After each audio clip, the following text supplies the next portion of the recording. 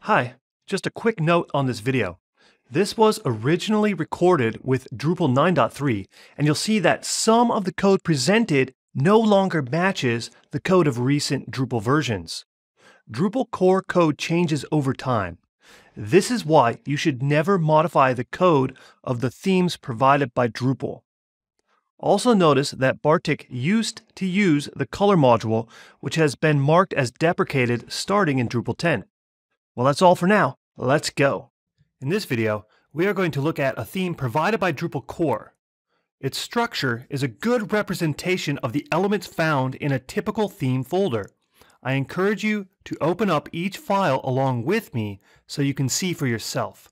As always, use the pause button on this video as you need. At this time, open up your code editor with your Drupal site loaded. In Drupal, core themes are located under Core Themes.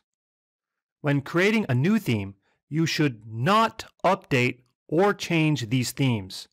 This is because updates to Drupal may change or overwrite the core themes, and you would lose your customizations.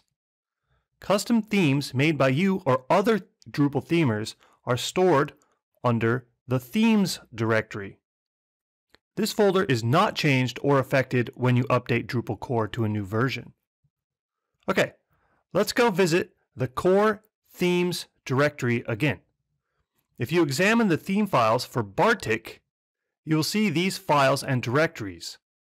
Let's take a closer look at each file and folder and their purpose in a theme. The info.yaml file is the only required file of a theme.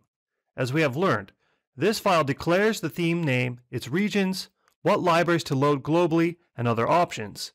Each line declares an option as a key value pair. Keys which are not specified will use Drupal's default. The libraries.yaml file is where you store references to assets or libraries, such as any CSS, JavaScript, etc., that you may be using for your theme. You can use this file to tell Drupal to use external CSS and JavaScript assets as well, such as resources stored on a CDN, that is a content delivery network. The breakpoints.yaml file is used to define any breakpoints your design might need and to define media queries. Breakpoints are used in responsive design so that a site's layout fluidly adjusts to devices with different sized viewports such as a mobile device, tablet, laptop, or desktop PC. The .theme file is used to store theme-specific PHP functions, preprocess functions, and hooks. For example, if you open bartik.theme, you'll see code that looks like this.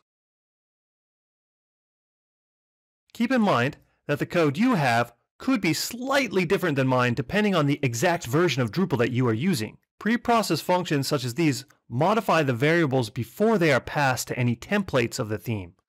For example, if we examine the preprocess HTML hook, we can see that this function adds information about the number of sidebars on the page as attributes, which will be added into the final HTML where appropriate. Further down, if we examine the preprocess node hook, we can see that in this function, the Bartik theme is removing or unsetting the add new comment link on teasers or when the comment form is displayed on this page. The power and flexibility of Drupal's theming system is truly awesome. Feel free to look around this file more and try to understand what Bartik is doing and why. The screenshot.png image is used on the appearance page in the Drupal administrative area. It allows you to give site builders using your theme an idea of what your theme will look like before it is enabled. With logo.svg, the theme logo will automatically be used in the header of the website using your theme, unless this is turned off by the site administrator or it's overwritten by a custom logo. The logo must be in SVG format. Next, let's look at some of these directories within the Bartik folder. The Templates folder is where you store all of your Twig templates. Twig is the template engine that Drupal uses for theming. Essentially, instead of having PHP files like was used in Drupal 7 and earlier versions, you have Twig files using Twig syntax. Twig is a PHP-based compiled templating language. When your web page renders, the Twig engine takes the template and converts it to a compiled PHP template, which is stored in a protected directory in site's default files, PHP Twig. The compilation is done once. The template files are cached for reuse and are recompiled on clearing the Twig cache.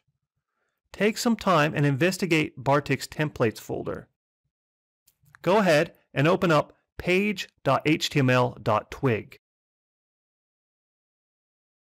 Notice how Bartik is wrapping Twig syntax in the HTML tags and the classes and IDs the theme will need for its CSS.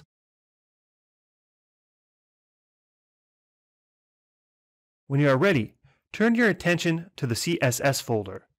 As we know, the local CSS files of your theme should be stored here.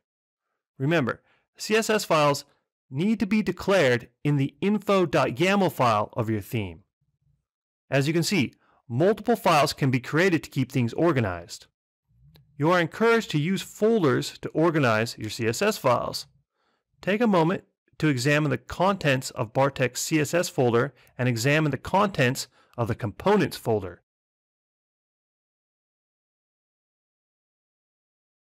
Continuing on, any image files that are specific to your theme, such as background images, buttons, etc., should be kept within the theme in an images folder. With the JS folder, as you can guess, you can create a JS folder to store your JavaScript in.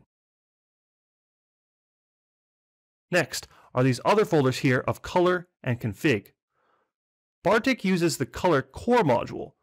This module allows site administrators to change the color scheme directly from the administrative backend for Bartik. Therefore, Bartik has a color folder that you will only see in themes taking advantage of the color module. Config is a directory where your theme has configuration that Drupal needs to know about. This is an advanced topic, so don't worry about this for now. As a final note, when you are creating your theme, you are free to add extra folders as needed to organize your files.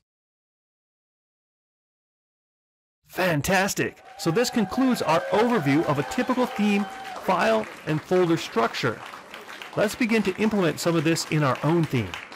See you soon, and happy learning!